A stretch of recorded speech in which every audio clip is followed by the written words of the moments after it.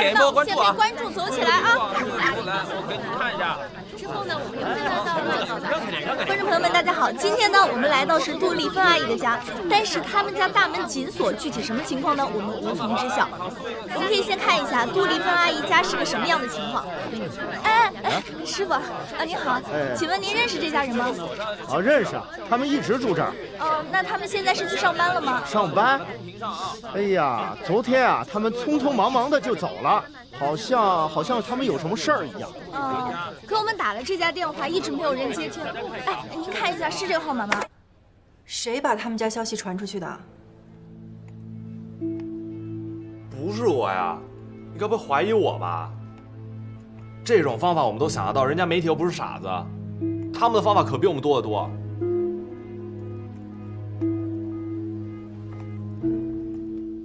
哎呦，这个不太清楚了。那他们这家人有孩子吗？好像有一个吧，十几岁吧。男孩还是女孩啊？好像是男孩，叫庞鹏来着。小鹏，妈，你今天怎么了？我就去买块电池，马上就回来。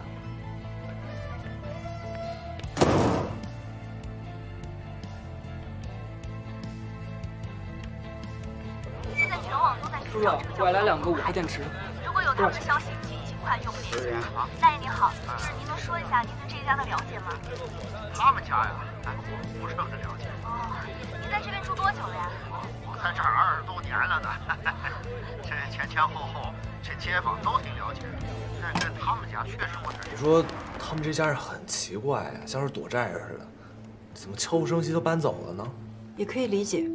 毕竟养了这么多年的孩子，谁都不想相信不是亲生的。这就能理解了，刚才怀疑我。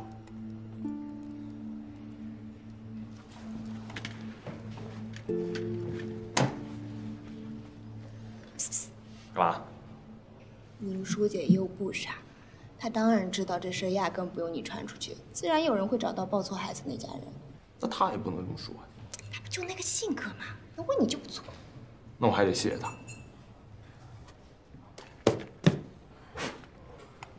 我们都没有想到，在知道了真相的庞鹏与舆论的双重压力下，杜丽芬走到了崩溃的边缘。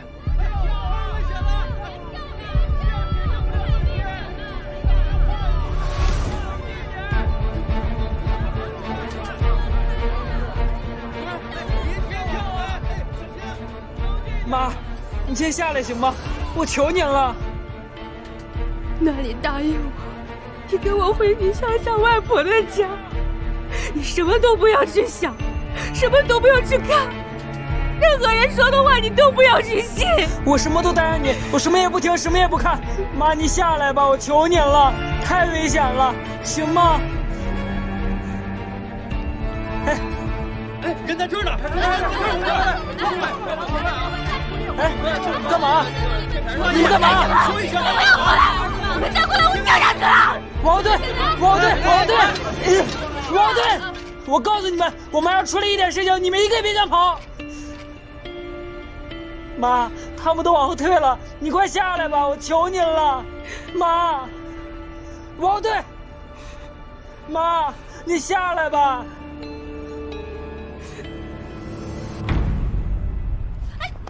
什么呀你啊！还不让拍？为了抢新闻，你们就可以不顾别人的性命吗？拍我的自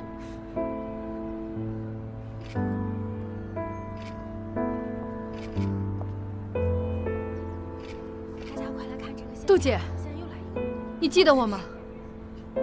十六年前，我们在一家医院生孩子，我就在你隔壁床，你还给我煮过鸡蛋。你下来吧，我能理解你现在的心情。一开始，我也无法接受，我家明明不是我亲生的，孩子生下来，我们可能还不知道如何当爸。跟孩子一起长大的过程里，才慢慢知道如何做一个妈妈。但是。老天爷有可能和我们俩开了个玩笑，我们必须面对。两个孩子都是咱们的孩子，现在明明就在病床上，等着他亲妈救命呢。如果你真是他妈，你也心疼不是吗？如果最后咱们鉴定出来都搞错了，那也算是给两个孩子一个交代呀。杜姐，你下来吧。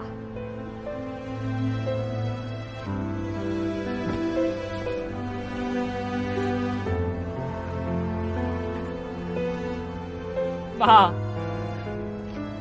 下来吧，我求您了。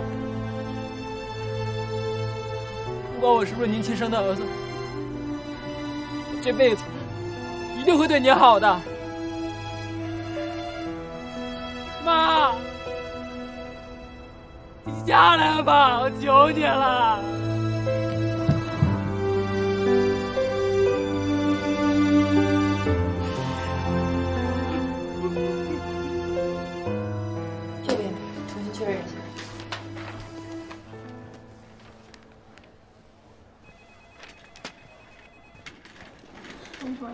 主任，帮我们鉴定一下吧。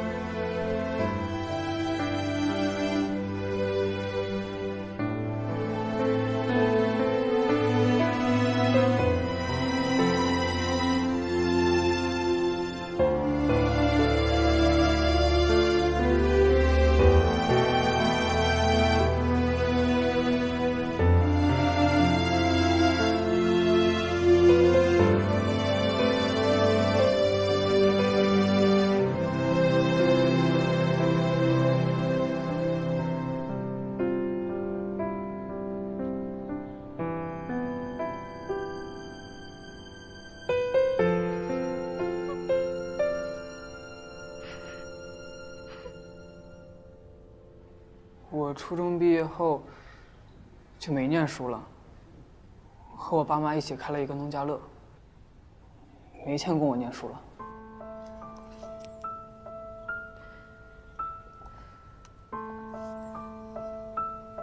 那，你遗憾吗？其实我也不知道。那天我在新闻里看到你们找我的消息，我也问过我自己这个问题：我遗憾吗？可能遗憾吧，但这都是命。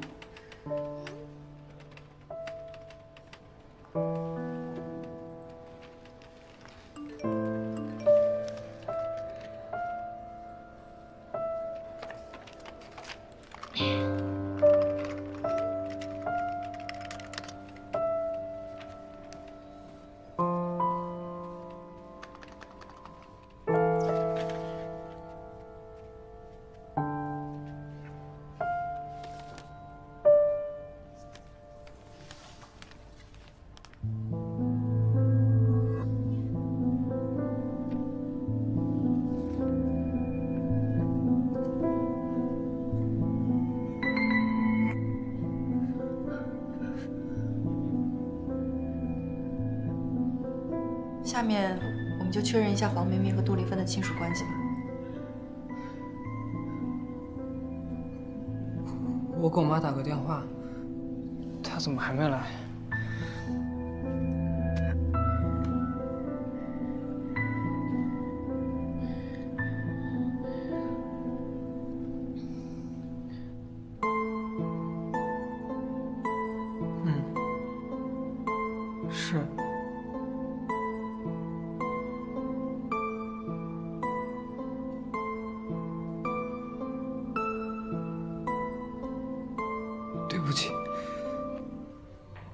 我妈又反悔了。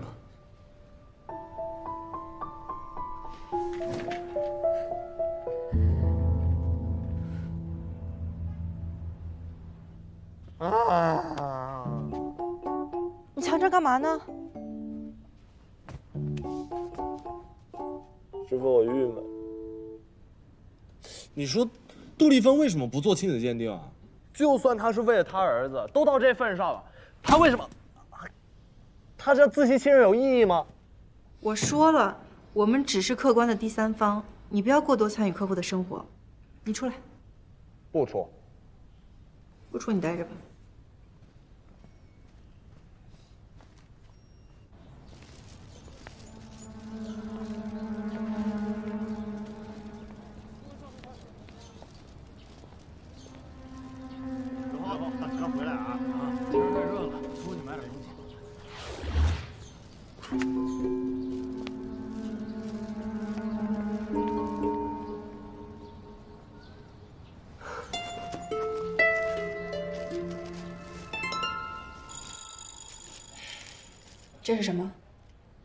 你知不知道这种取证方式没有任何法律效力？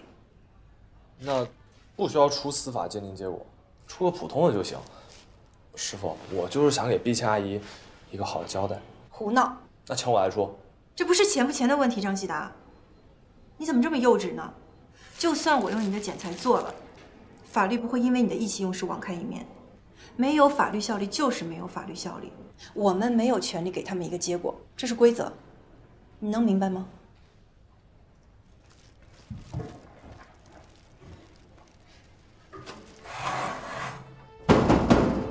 杜姐，我知道你在家。杜姐，明明快不行了，我求求你，救救他！杜姐，你开门呐！我求求你了，你开门！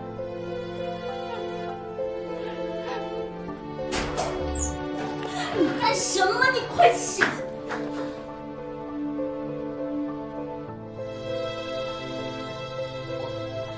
我我救不了他。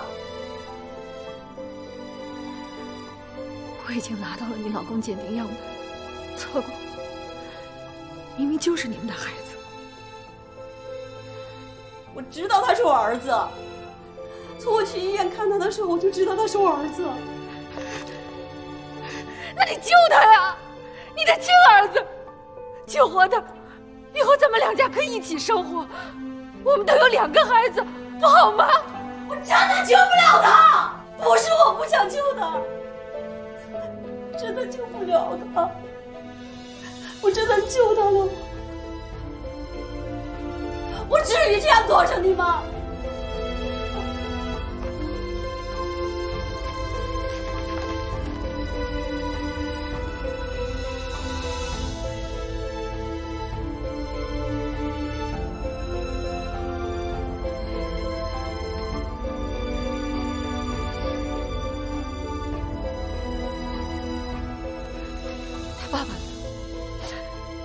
爸爸应该也可以解肝的。他爸有肝炎，我们全家人都有肝病。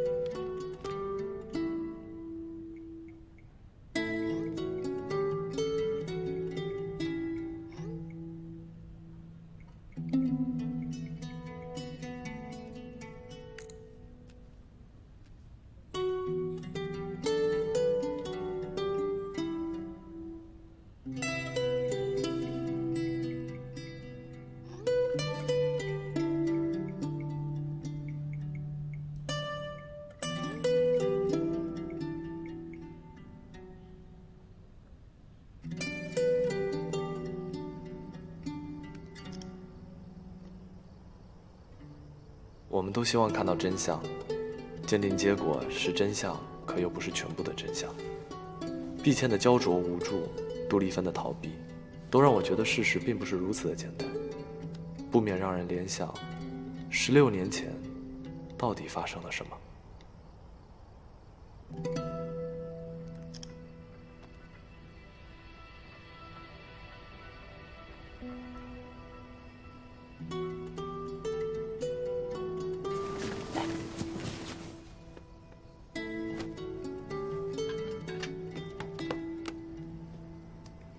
家人都有遗传性肝病，为了要一个健康的孩子，他们悄悄替换了隔壁床那个同天出生的孩子。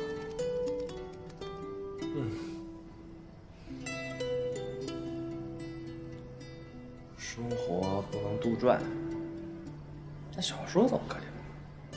哎，张西达，你就是个天才。去吃个饭吧。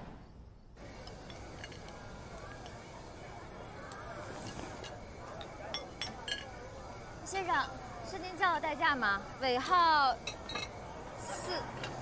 你看看时间多长时间了？真的不好意思，了，快来呀！哎，我实在不好意思，我从那边来的时候有点堵，不好意思，不好意思。那个咱们去的那个位置啊，不是干嘛呀？等什么位置？哎，怎么着？什么位置？没事没事，哎怎么？哎，没事没事没事没事没事，啊怎么着？你他妈的推一个！没事没事，哎，等你这怎么回哎呀，行怎么行，是这样的，他们两个喝多了，说话说不清楚。那这样，二位啊，那个您这单我不接了，您重新叫好吗？重新叫，没事没事。哟，饭没吃完呢。什么？不是，艾姐，你怎么干起代驾来了？哎呦，这不晚上没事儿吗？干点兼职啊。都这么晚了，孩子呢？啊，那孩子上同学家去了。哎呀，没事儿，你看你，忘了艾姐名言了，赚钱使人快乐。艾姐快乐着呢啊！哎呦，快回去吃饭去吧，你看你担心呢啊！快去吧，我走了啊！慢点啊！哎，明天见。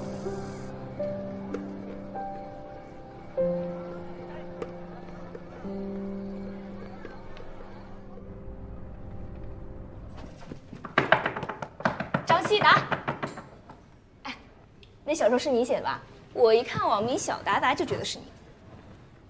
哦，我昨天半夜才发的，你就看完了。张作家，你好像要红嘞，这才几个小时，热度不是盖的呀。我要红了！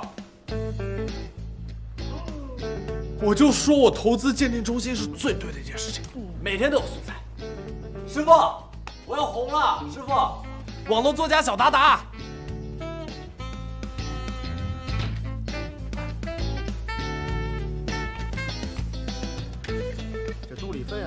芬啊，肯定是故意换的，谁还不想要个健康人的孩子？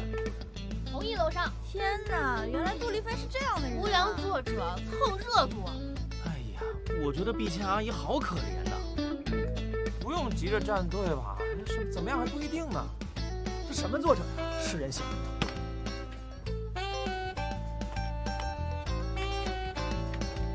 我完全特别劲爆的小说的 IP 作者就在安和金他们现在已经不让播了，现在保安不让我们进入，完全可以确定，就在这个亲子为了鉴定中心里，特意打造了这样一篇小说。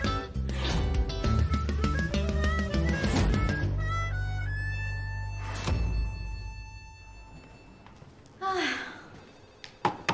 大作家，出名了，你这名出来可也太大了。我告诉你啊，这要是让我们中心倒闭了，让你魏姐我失业了，让我养不起女儿，我就带着苗苗上你家蹭饭去。臭小子！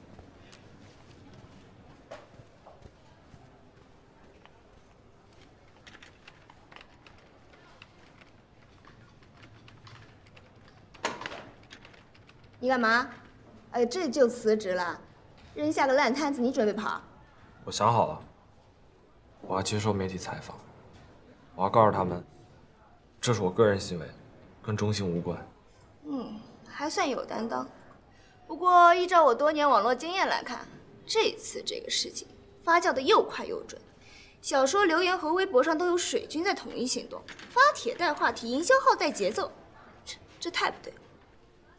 这就跟他们娱乐圈要上个新戏，或者哪个演员宣传到了后期想要上热搜，手段一毛一样。这种宣传规模的手段很费钱的，你以为谁都有那个闲钱来搞你这么一个无名小辈？无名小辈也太伤人了吧！那你觉得这波舆论是针对你，还是针对我们中心呢？无论是针对谁，反正这祸是我闯出来的，我确实不应该在舆论档口编撰这样的小说。我决定好了，我离开吧，这样对大家都好。张启达，你真要走啊？哎呦，姐刚才跟你开玩笑，怎么还当真了？我已经决定了，江湖再见吧。哎，你不用走。师傅，我知道你疼我，但我做的事情，我就应该自己承担。赶紧别废话了，干活。我已经解决了。宁书姐，我觉得这事得跟你汇报一下了。这不只是帮张希达个人的忙了，这事背后真的不简单。我找朋友通过和营销号联系的人返乡也查了他们的 IP，你看。宁叔，你终于肯约我见面了。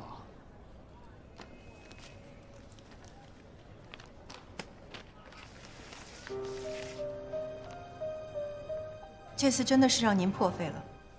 为了我们一个不起眼的小小鉴定中心，竟然能让您如此兴师动众，这让我突然对自己有了一个全新的认识。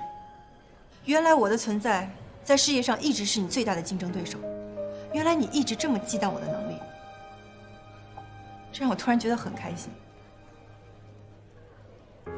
宁叔，我不明白你什么意思。花钱雇水军，能引起这么大的舆论。用同样的方式，也可以替安和平息舆论。如果事态很快平息，这些证据也会消失；否则，这些证据会一起上传到网上。你们诺信家大业大，欺负同行的事情传出去，恐怕不太好听吧？宁叔，你为什么非要这么强势呢？咱俩就不能像以前一样的好好沟通吗？你也知道是以前。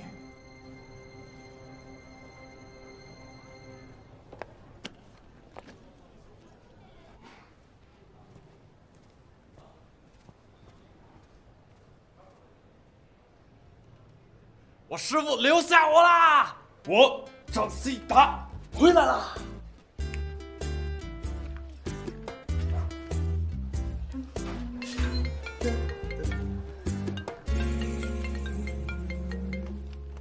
喂。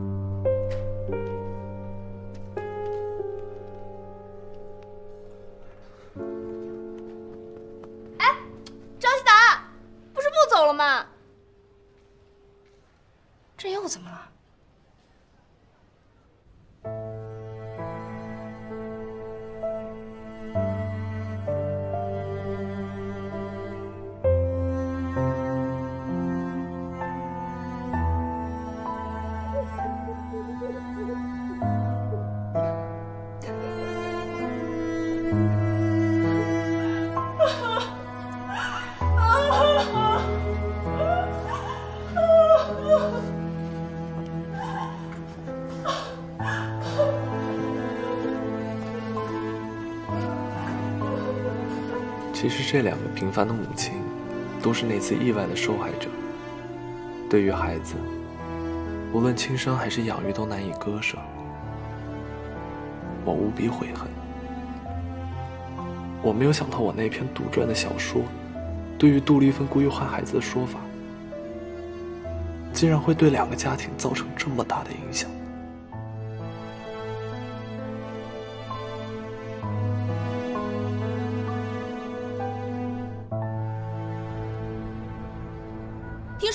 正式跟黄明明做过亲子鉴定了。对于黄明明的死，你有没有后悔过？如果当初你没有故意换掉两个孩子，从一开始就知道黄明明的病情，是不是就可以尽快治疗呢？请您解释一下吧。朱阿姨，请解释一下，解释一下好吗？朱阿姨，您解释一下。妈，请您解释一下。你们这群混蛋，别拍了，别拍了，快走，快走！碧倩阿姨，我们都非常的同情你。听说你打算起诉当时生孩子那家医院，可医院方面认为是黄明明的亲生母亲想要一个健康的孩子，而故意换掉了两个婴儿，责任不在医院。您接下来打算怎么办呢？是否起诉杜丽芬呢？你会起诉他吗？说一下，说一下，说一下吧，说一下你的想法吧。让我们安静一下吧，求求你们，求求大家了，让我们安静一下啊！简单说两句。你跟我们说一下吧。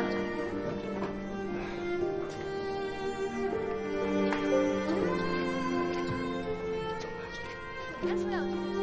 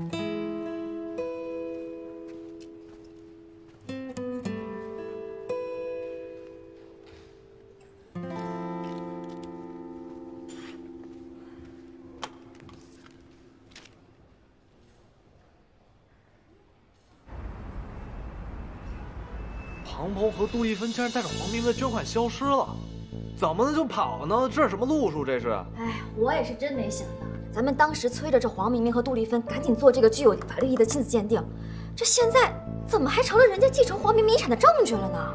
给黄明明的捐款全拿走了，全拿走了，这碧琪阿姨是不是得疯掉啊？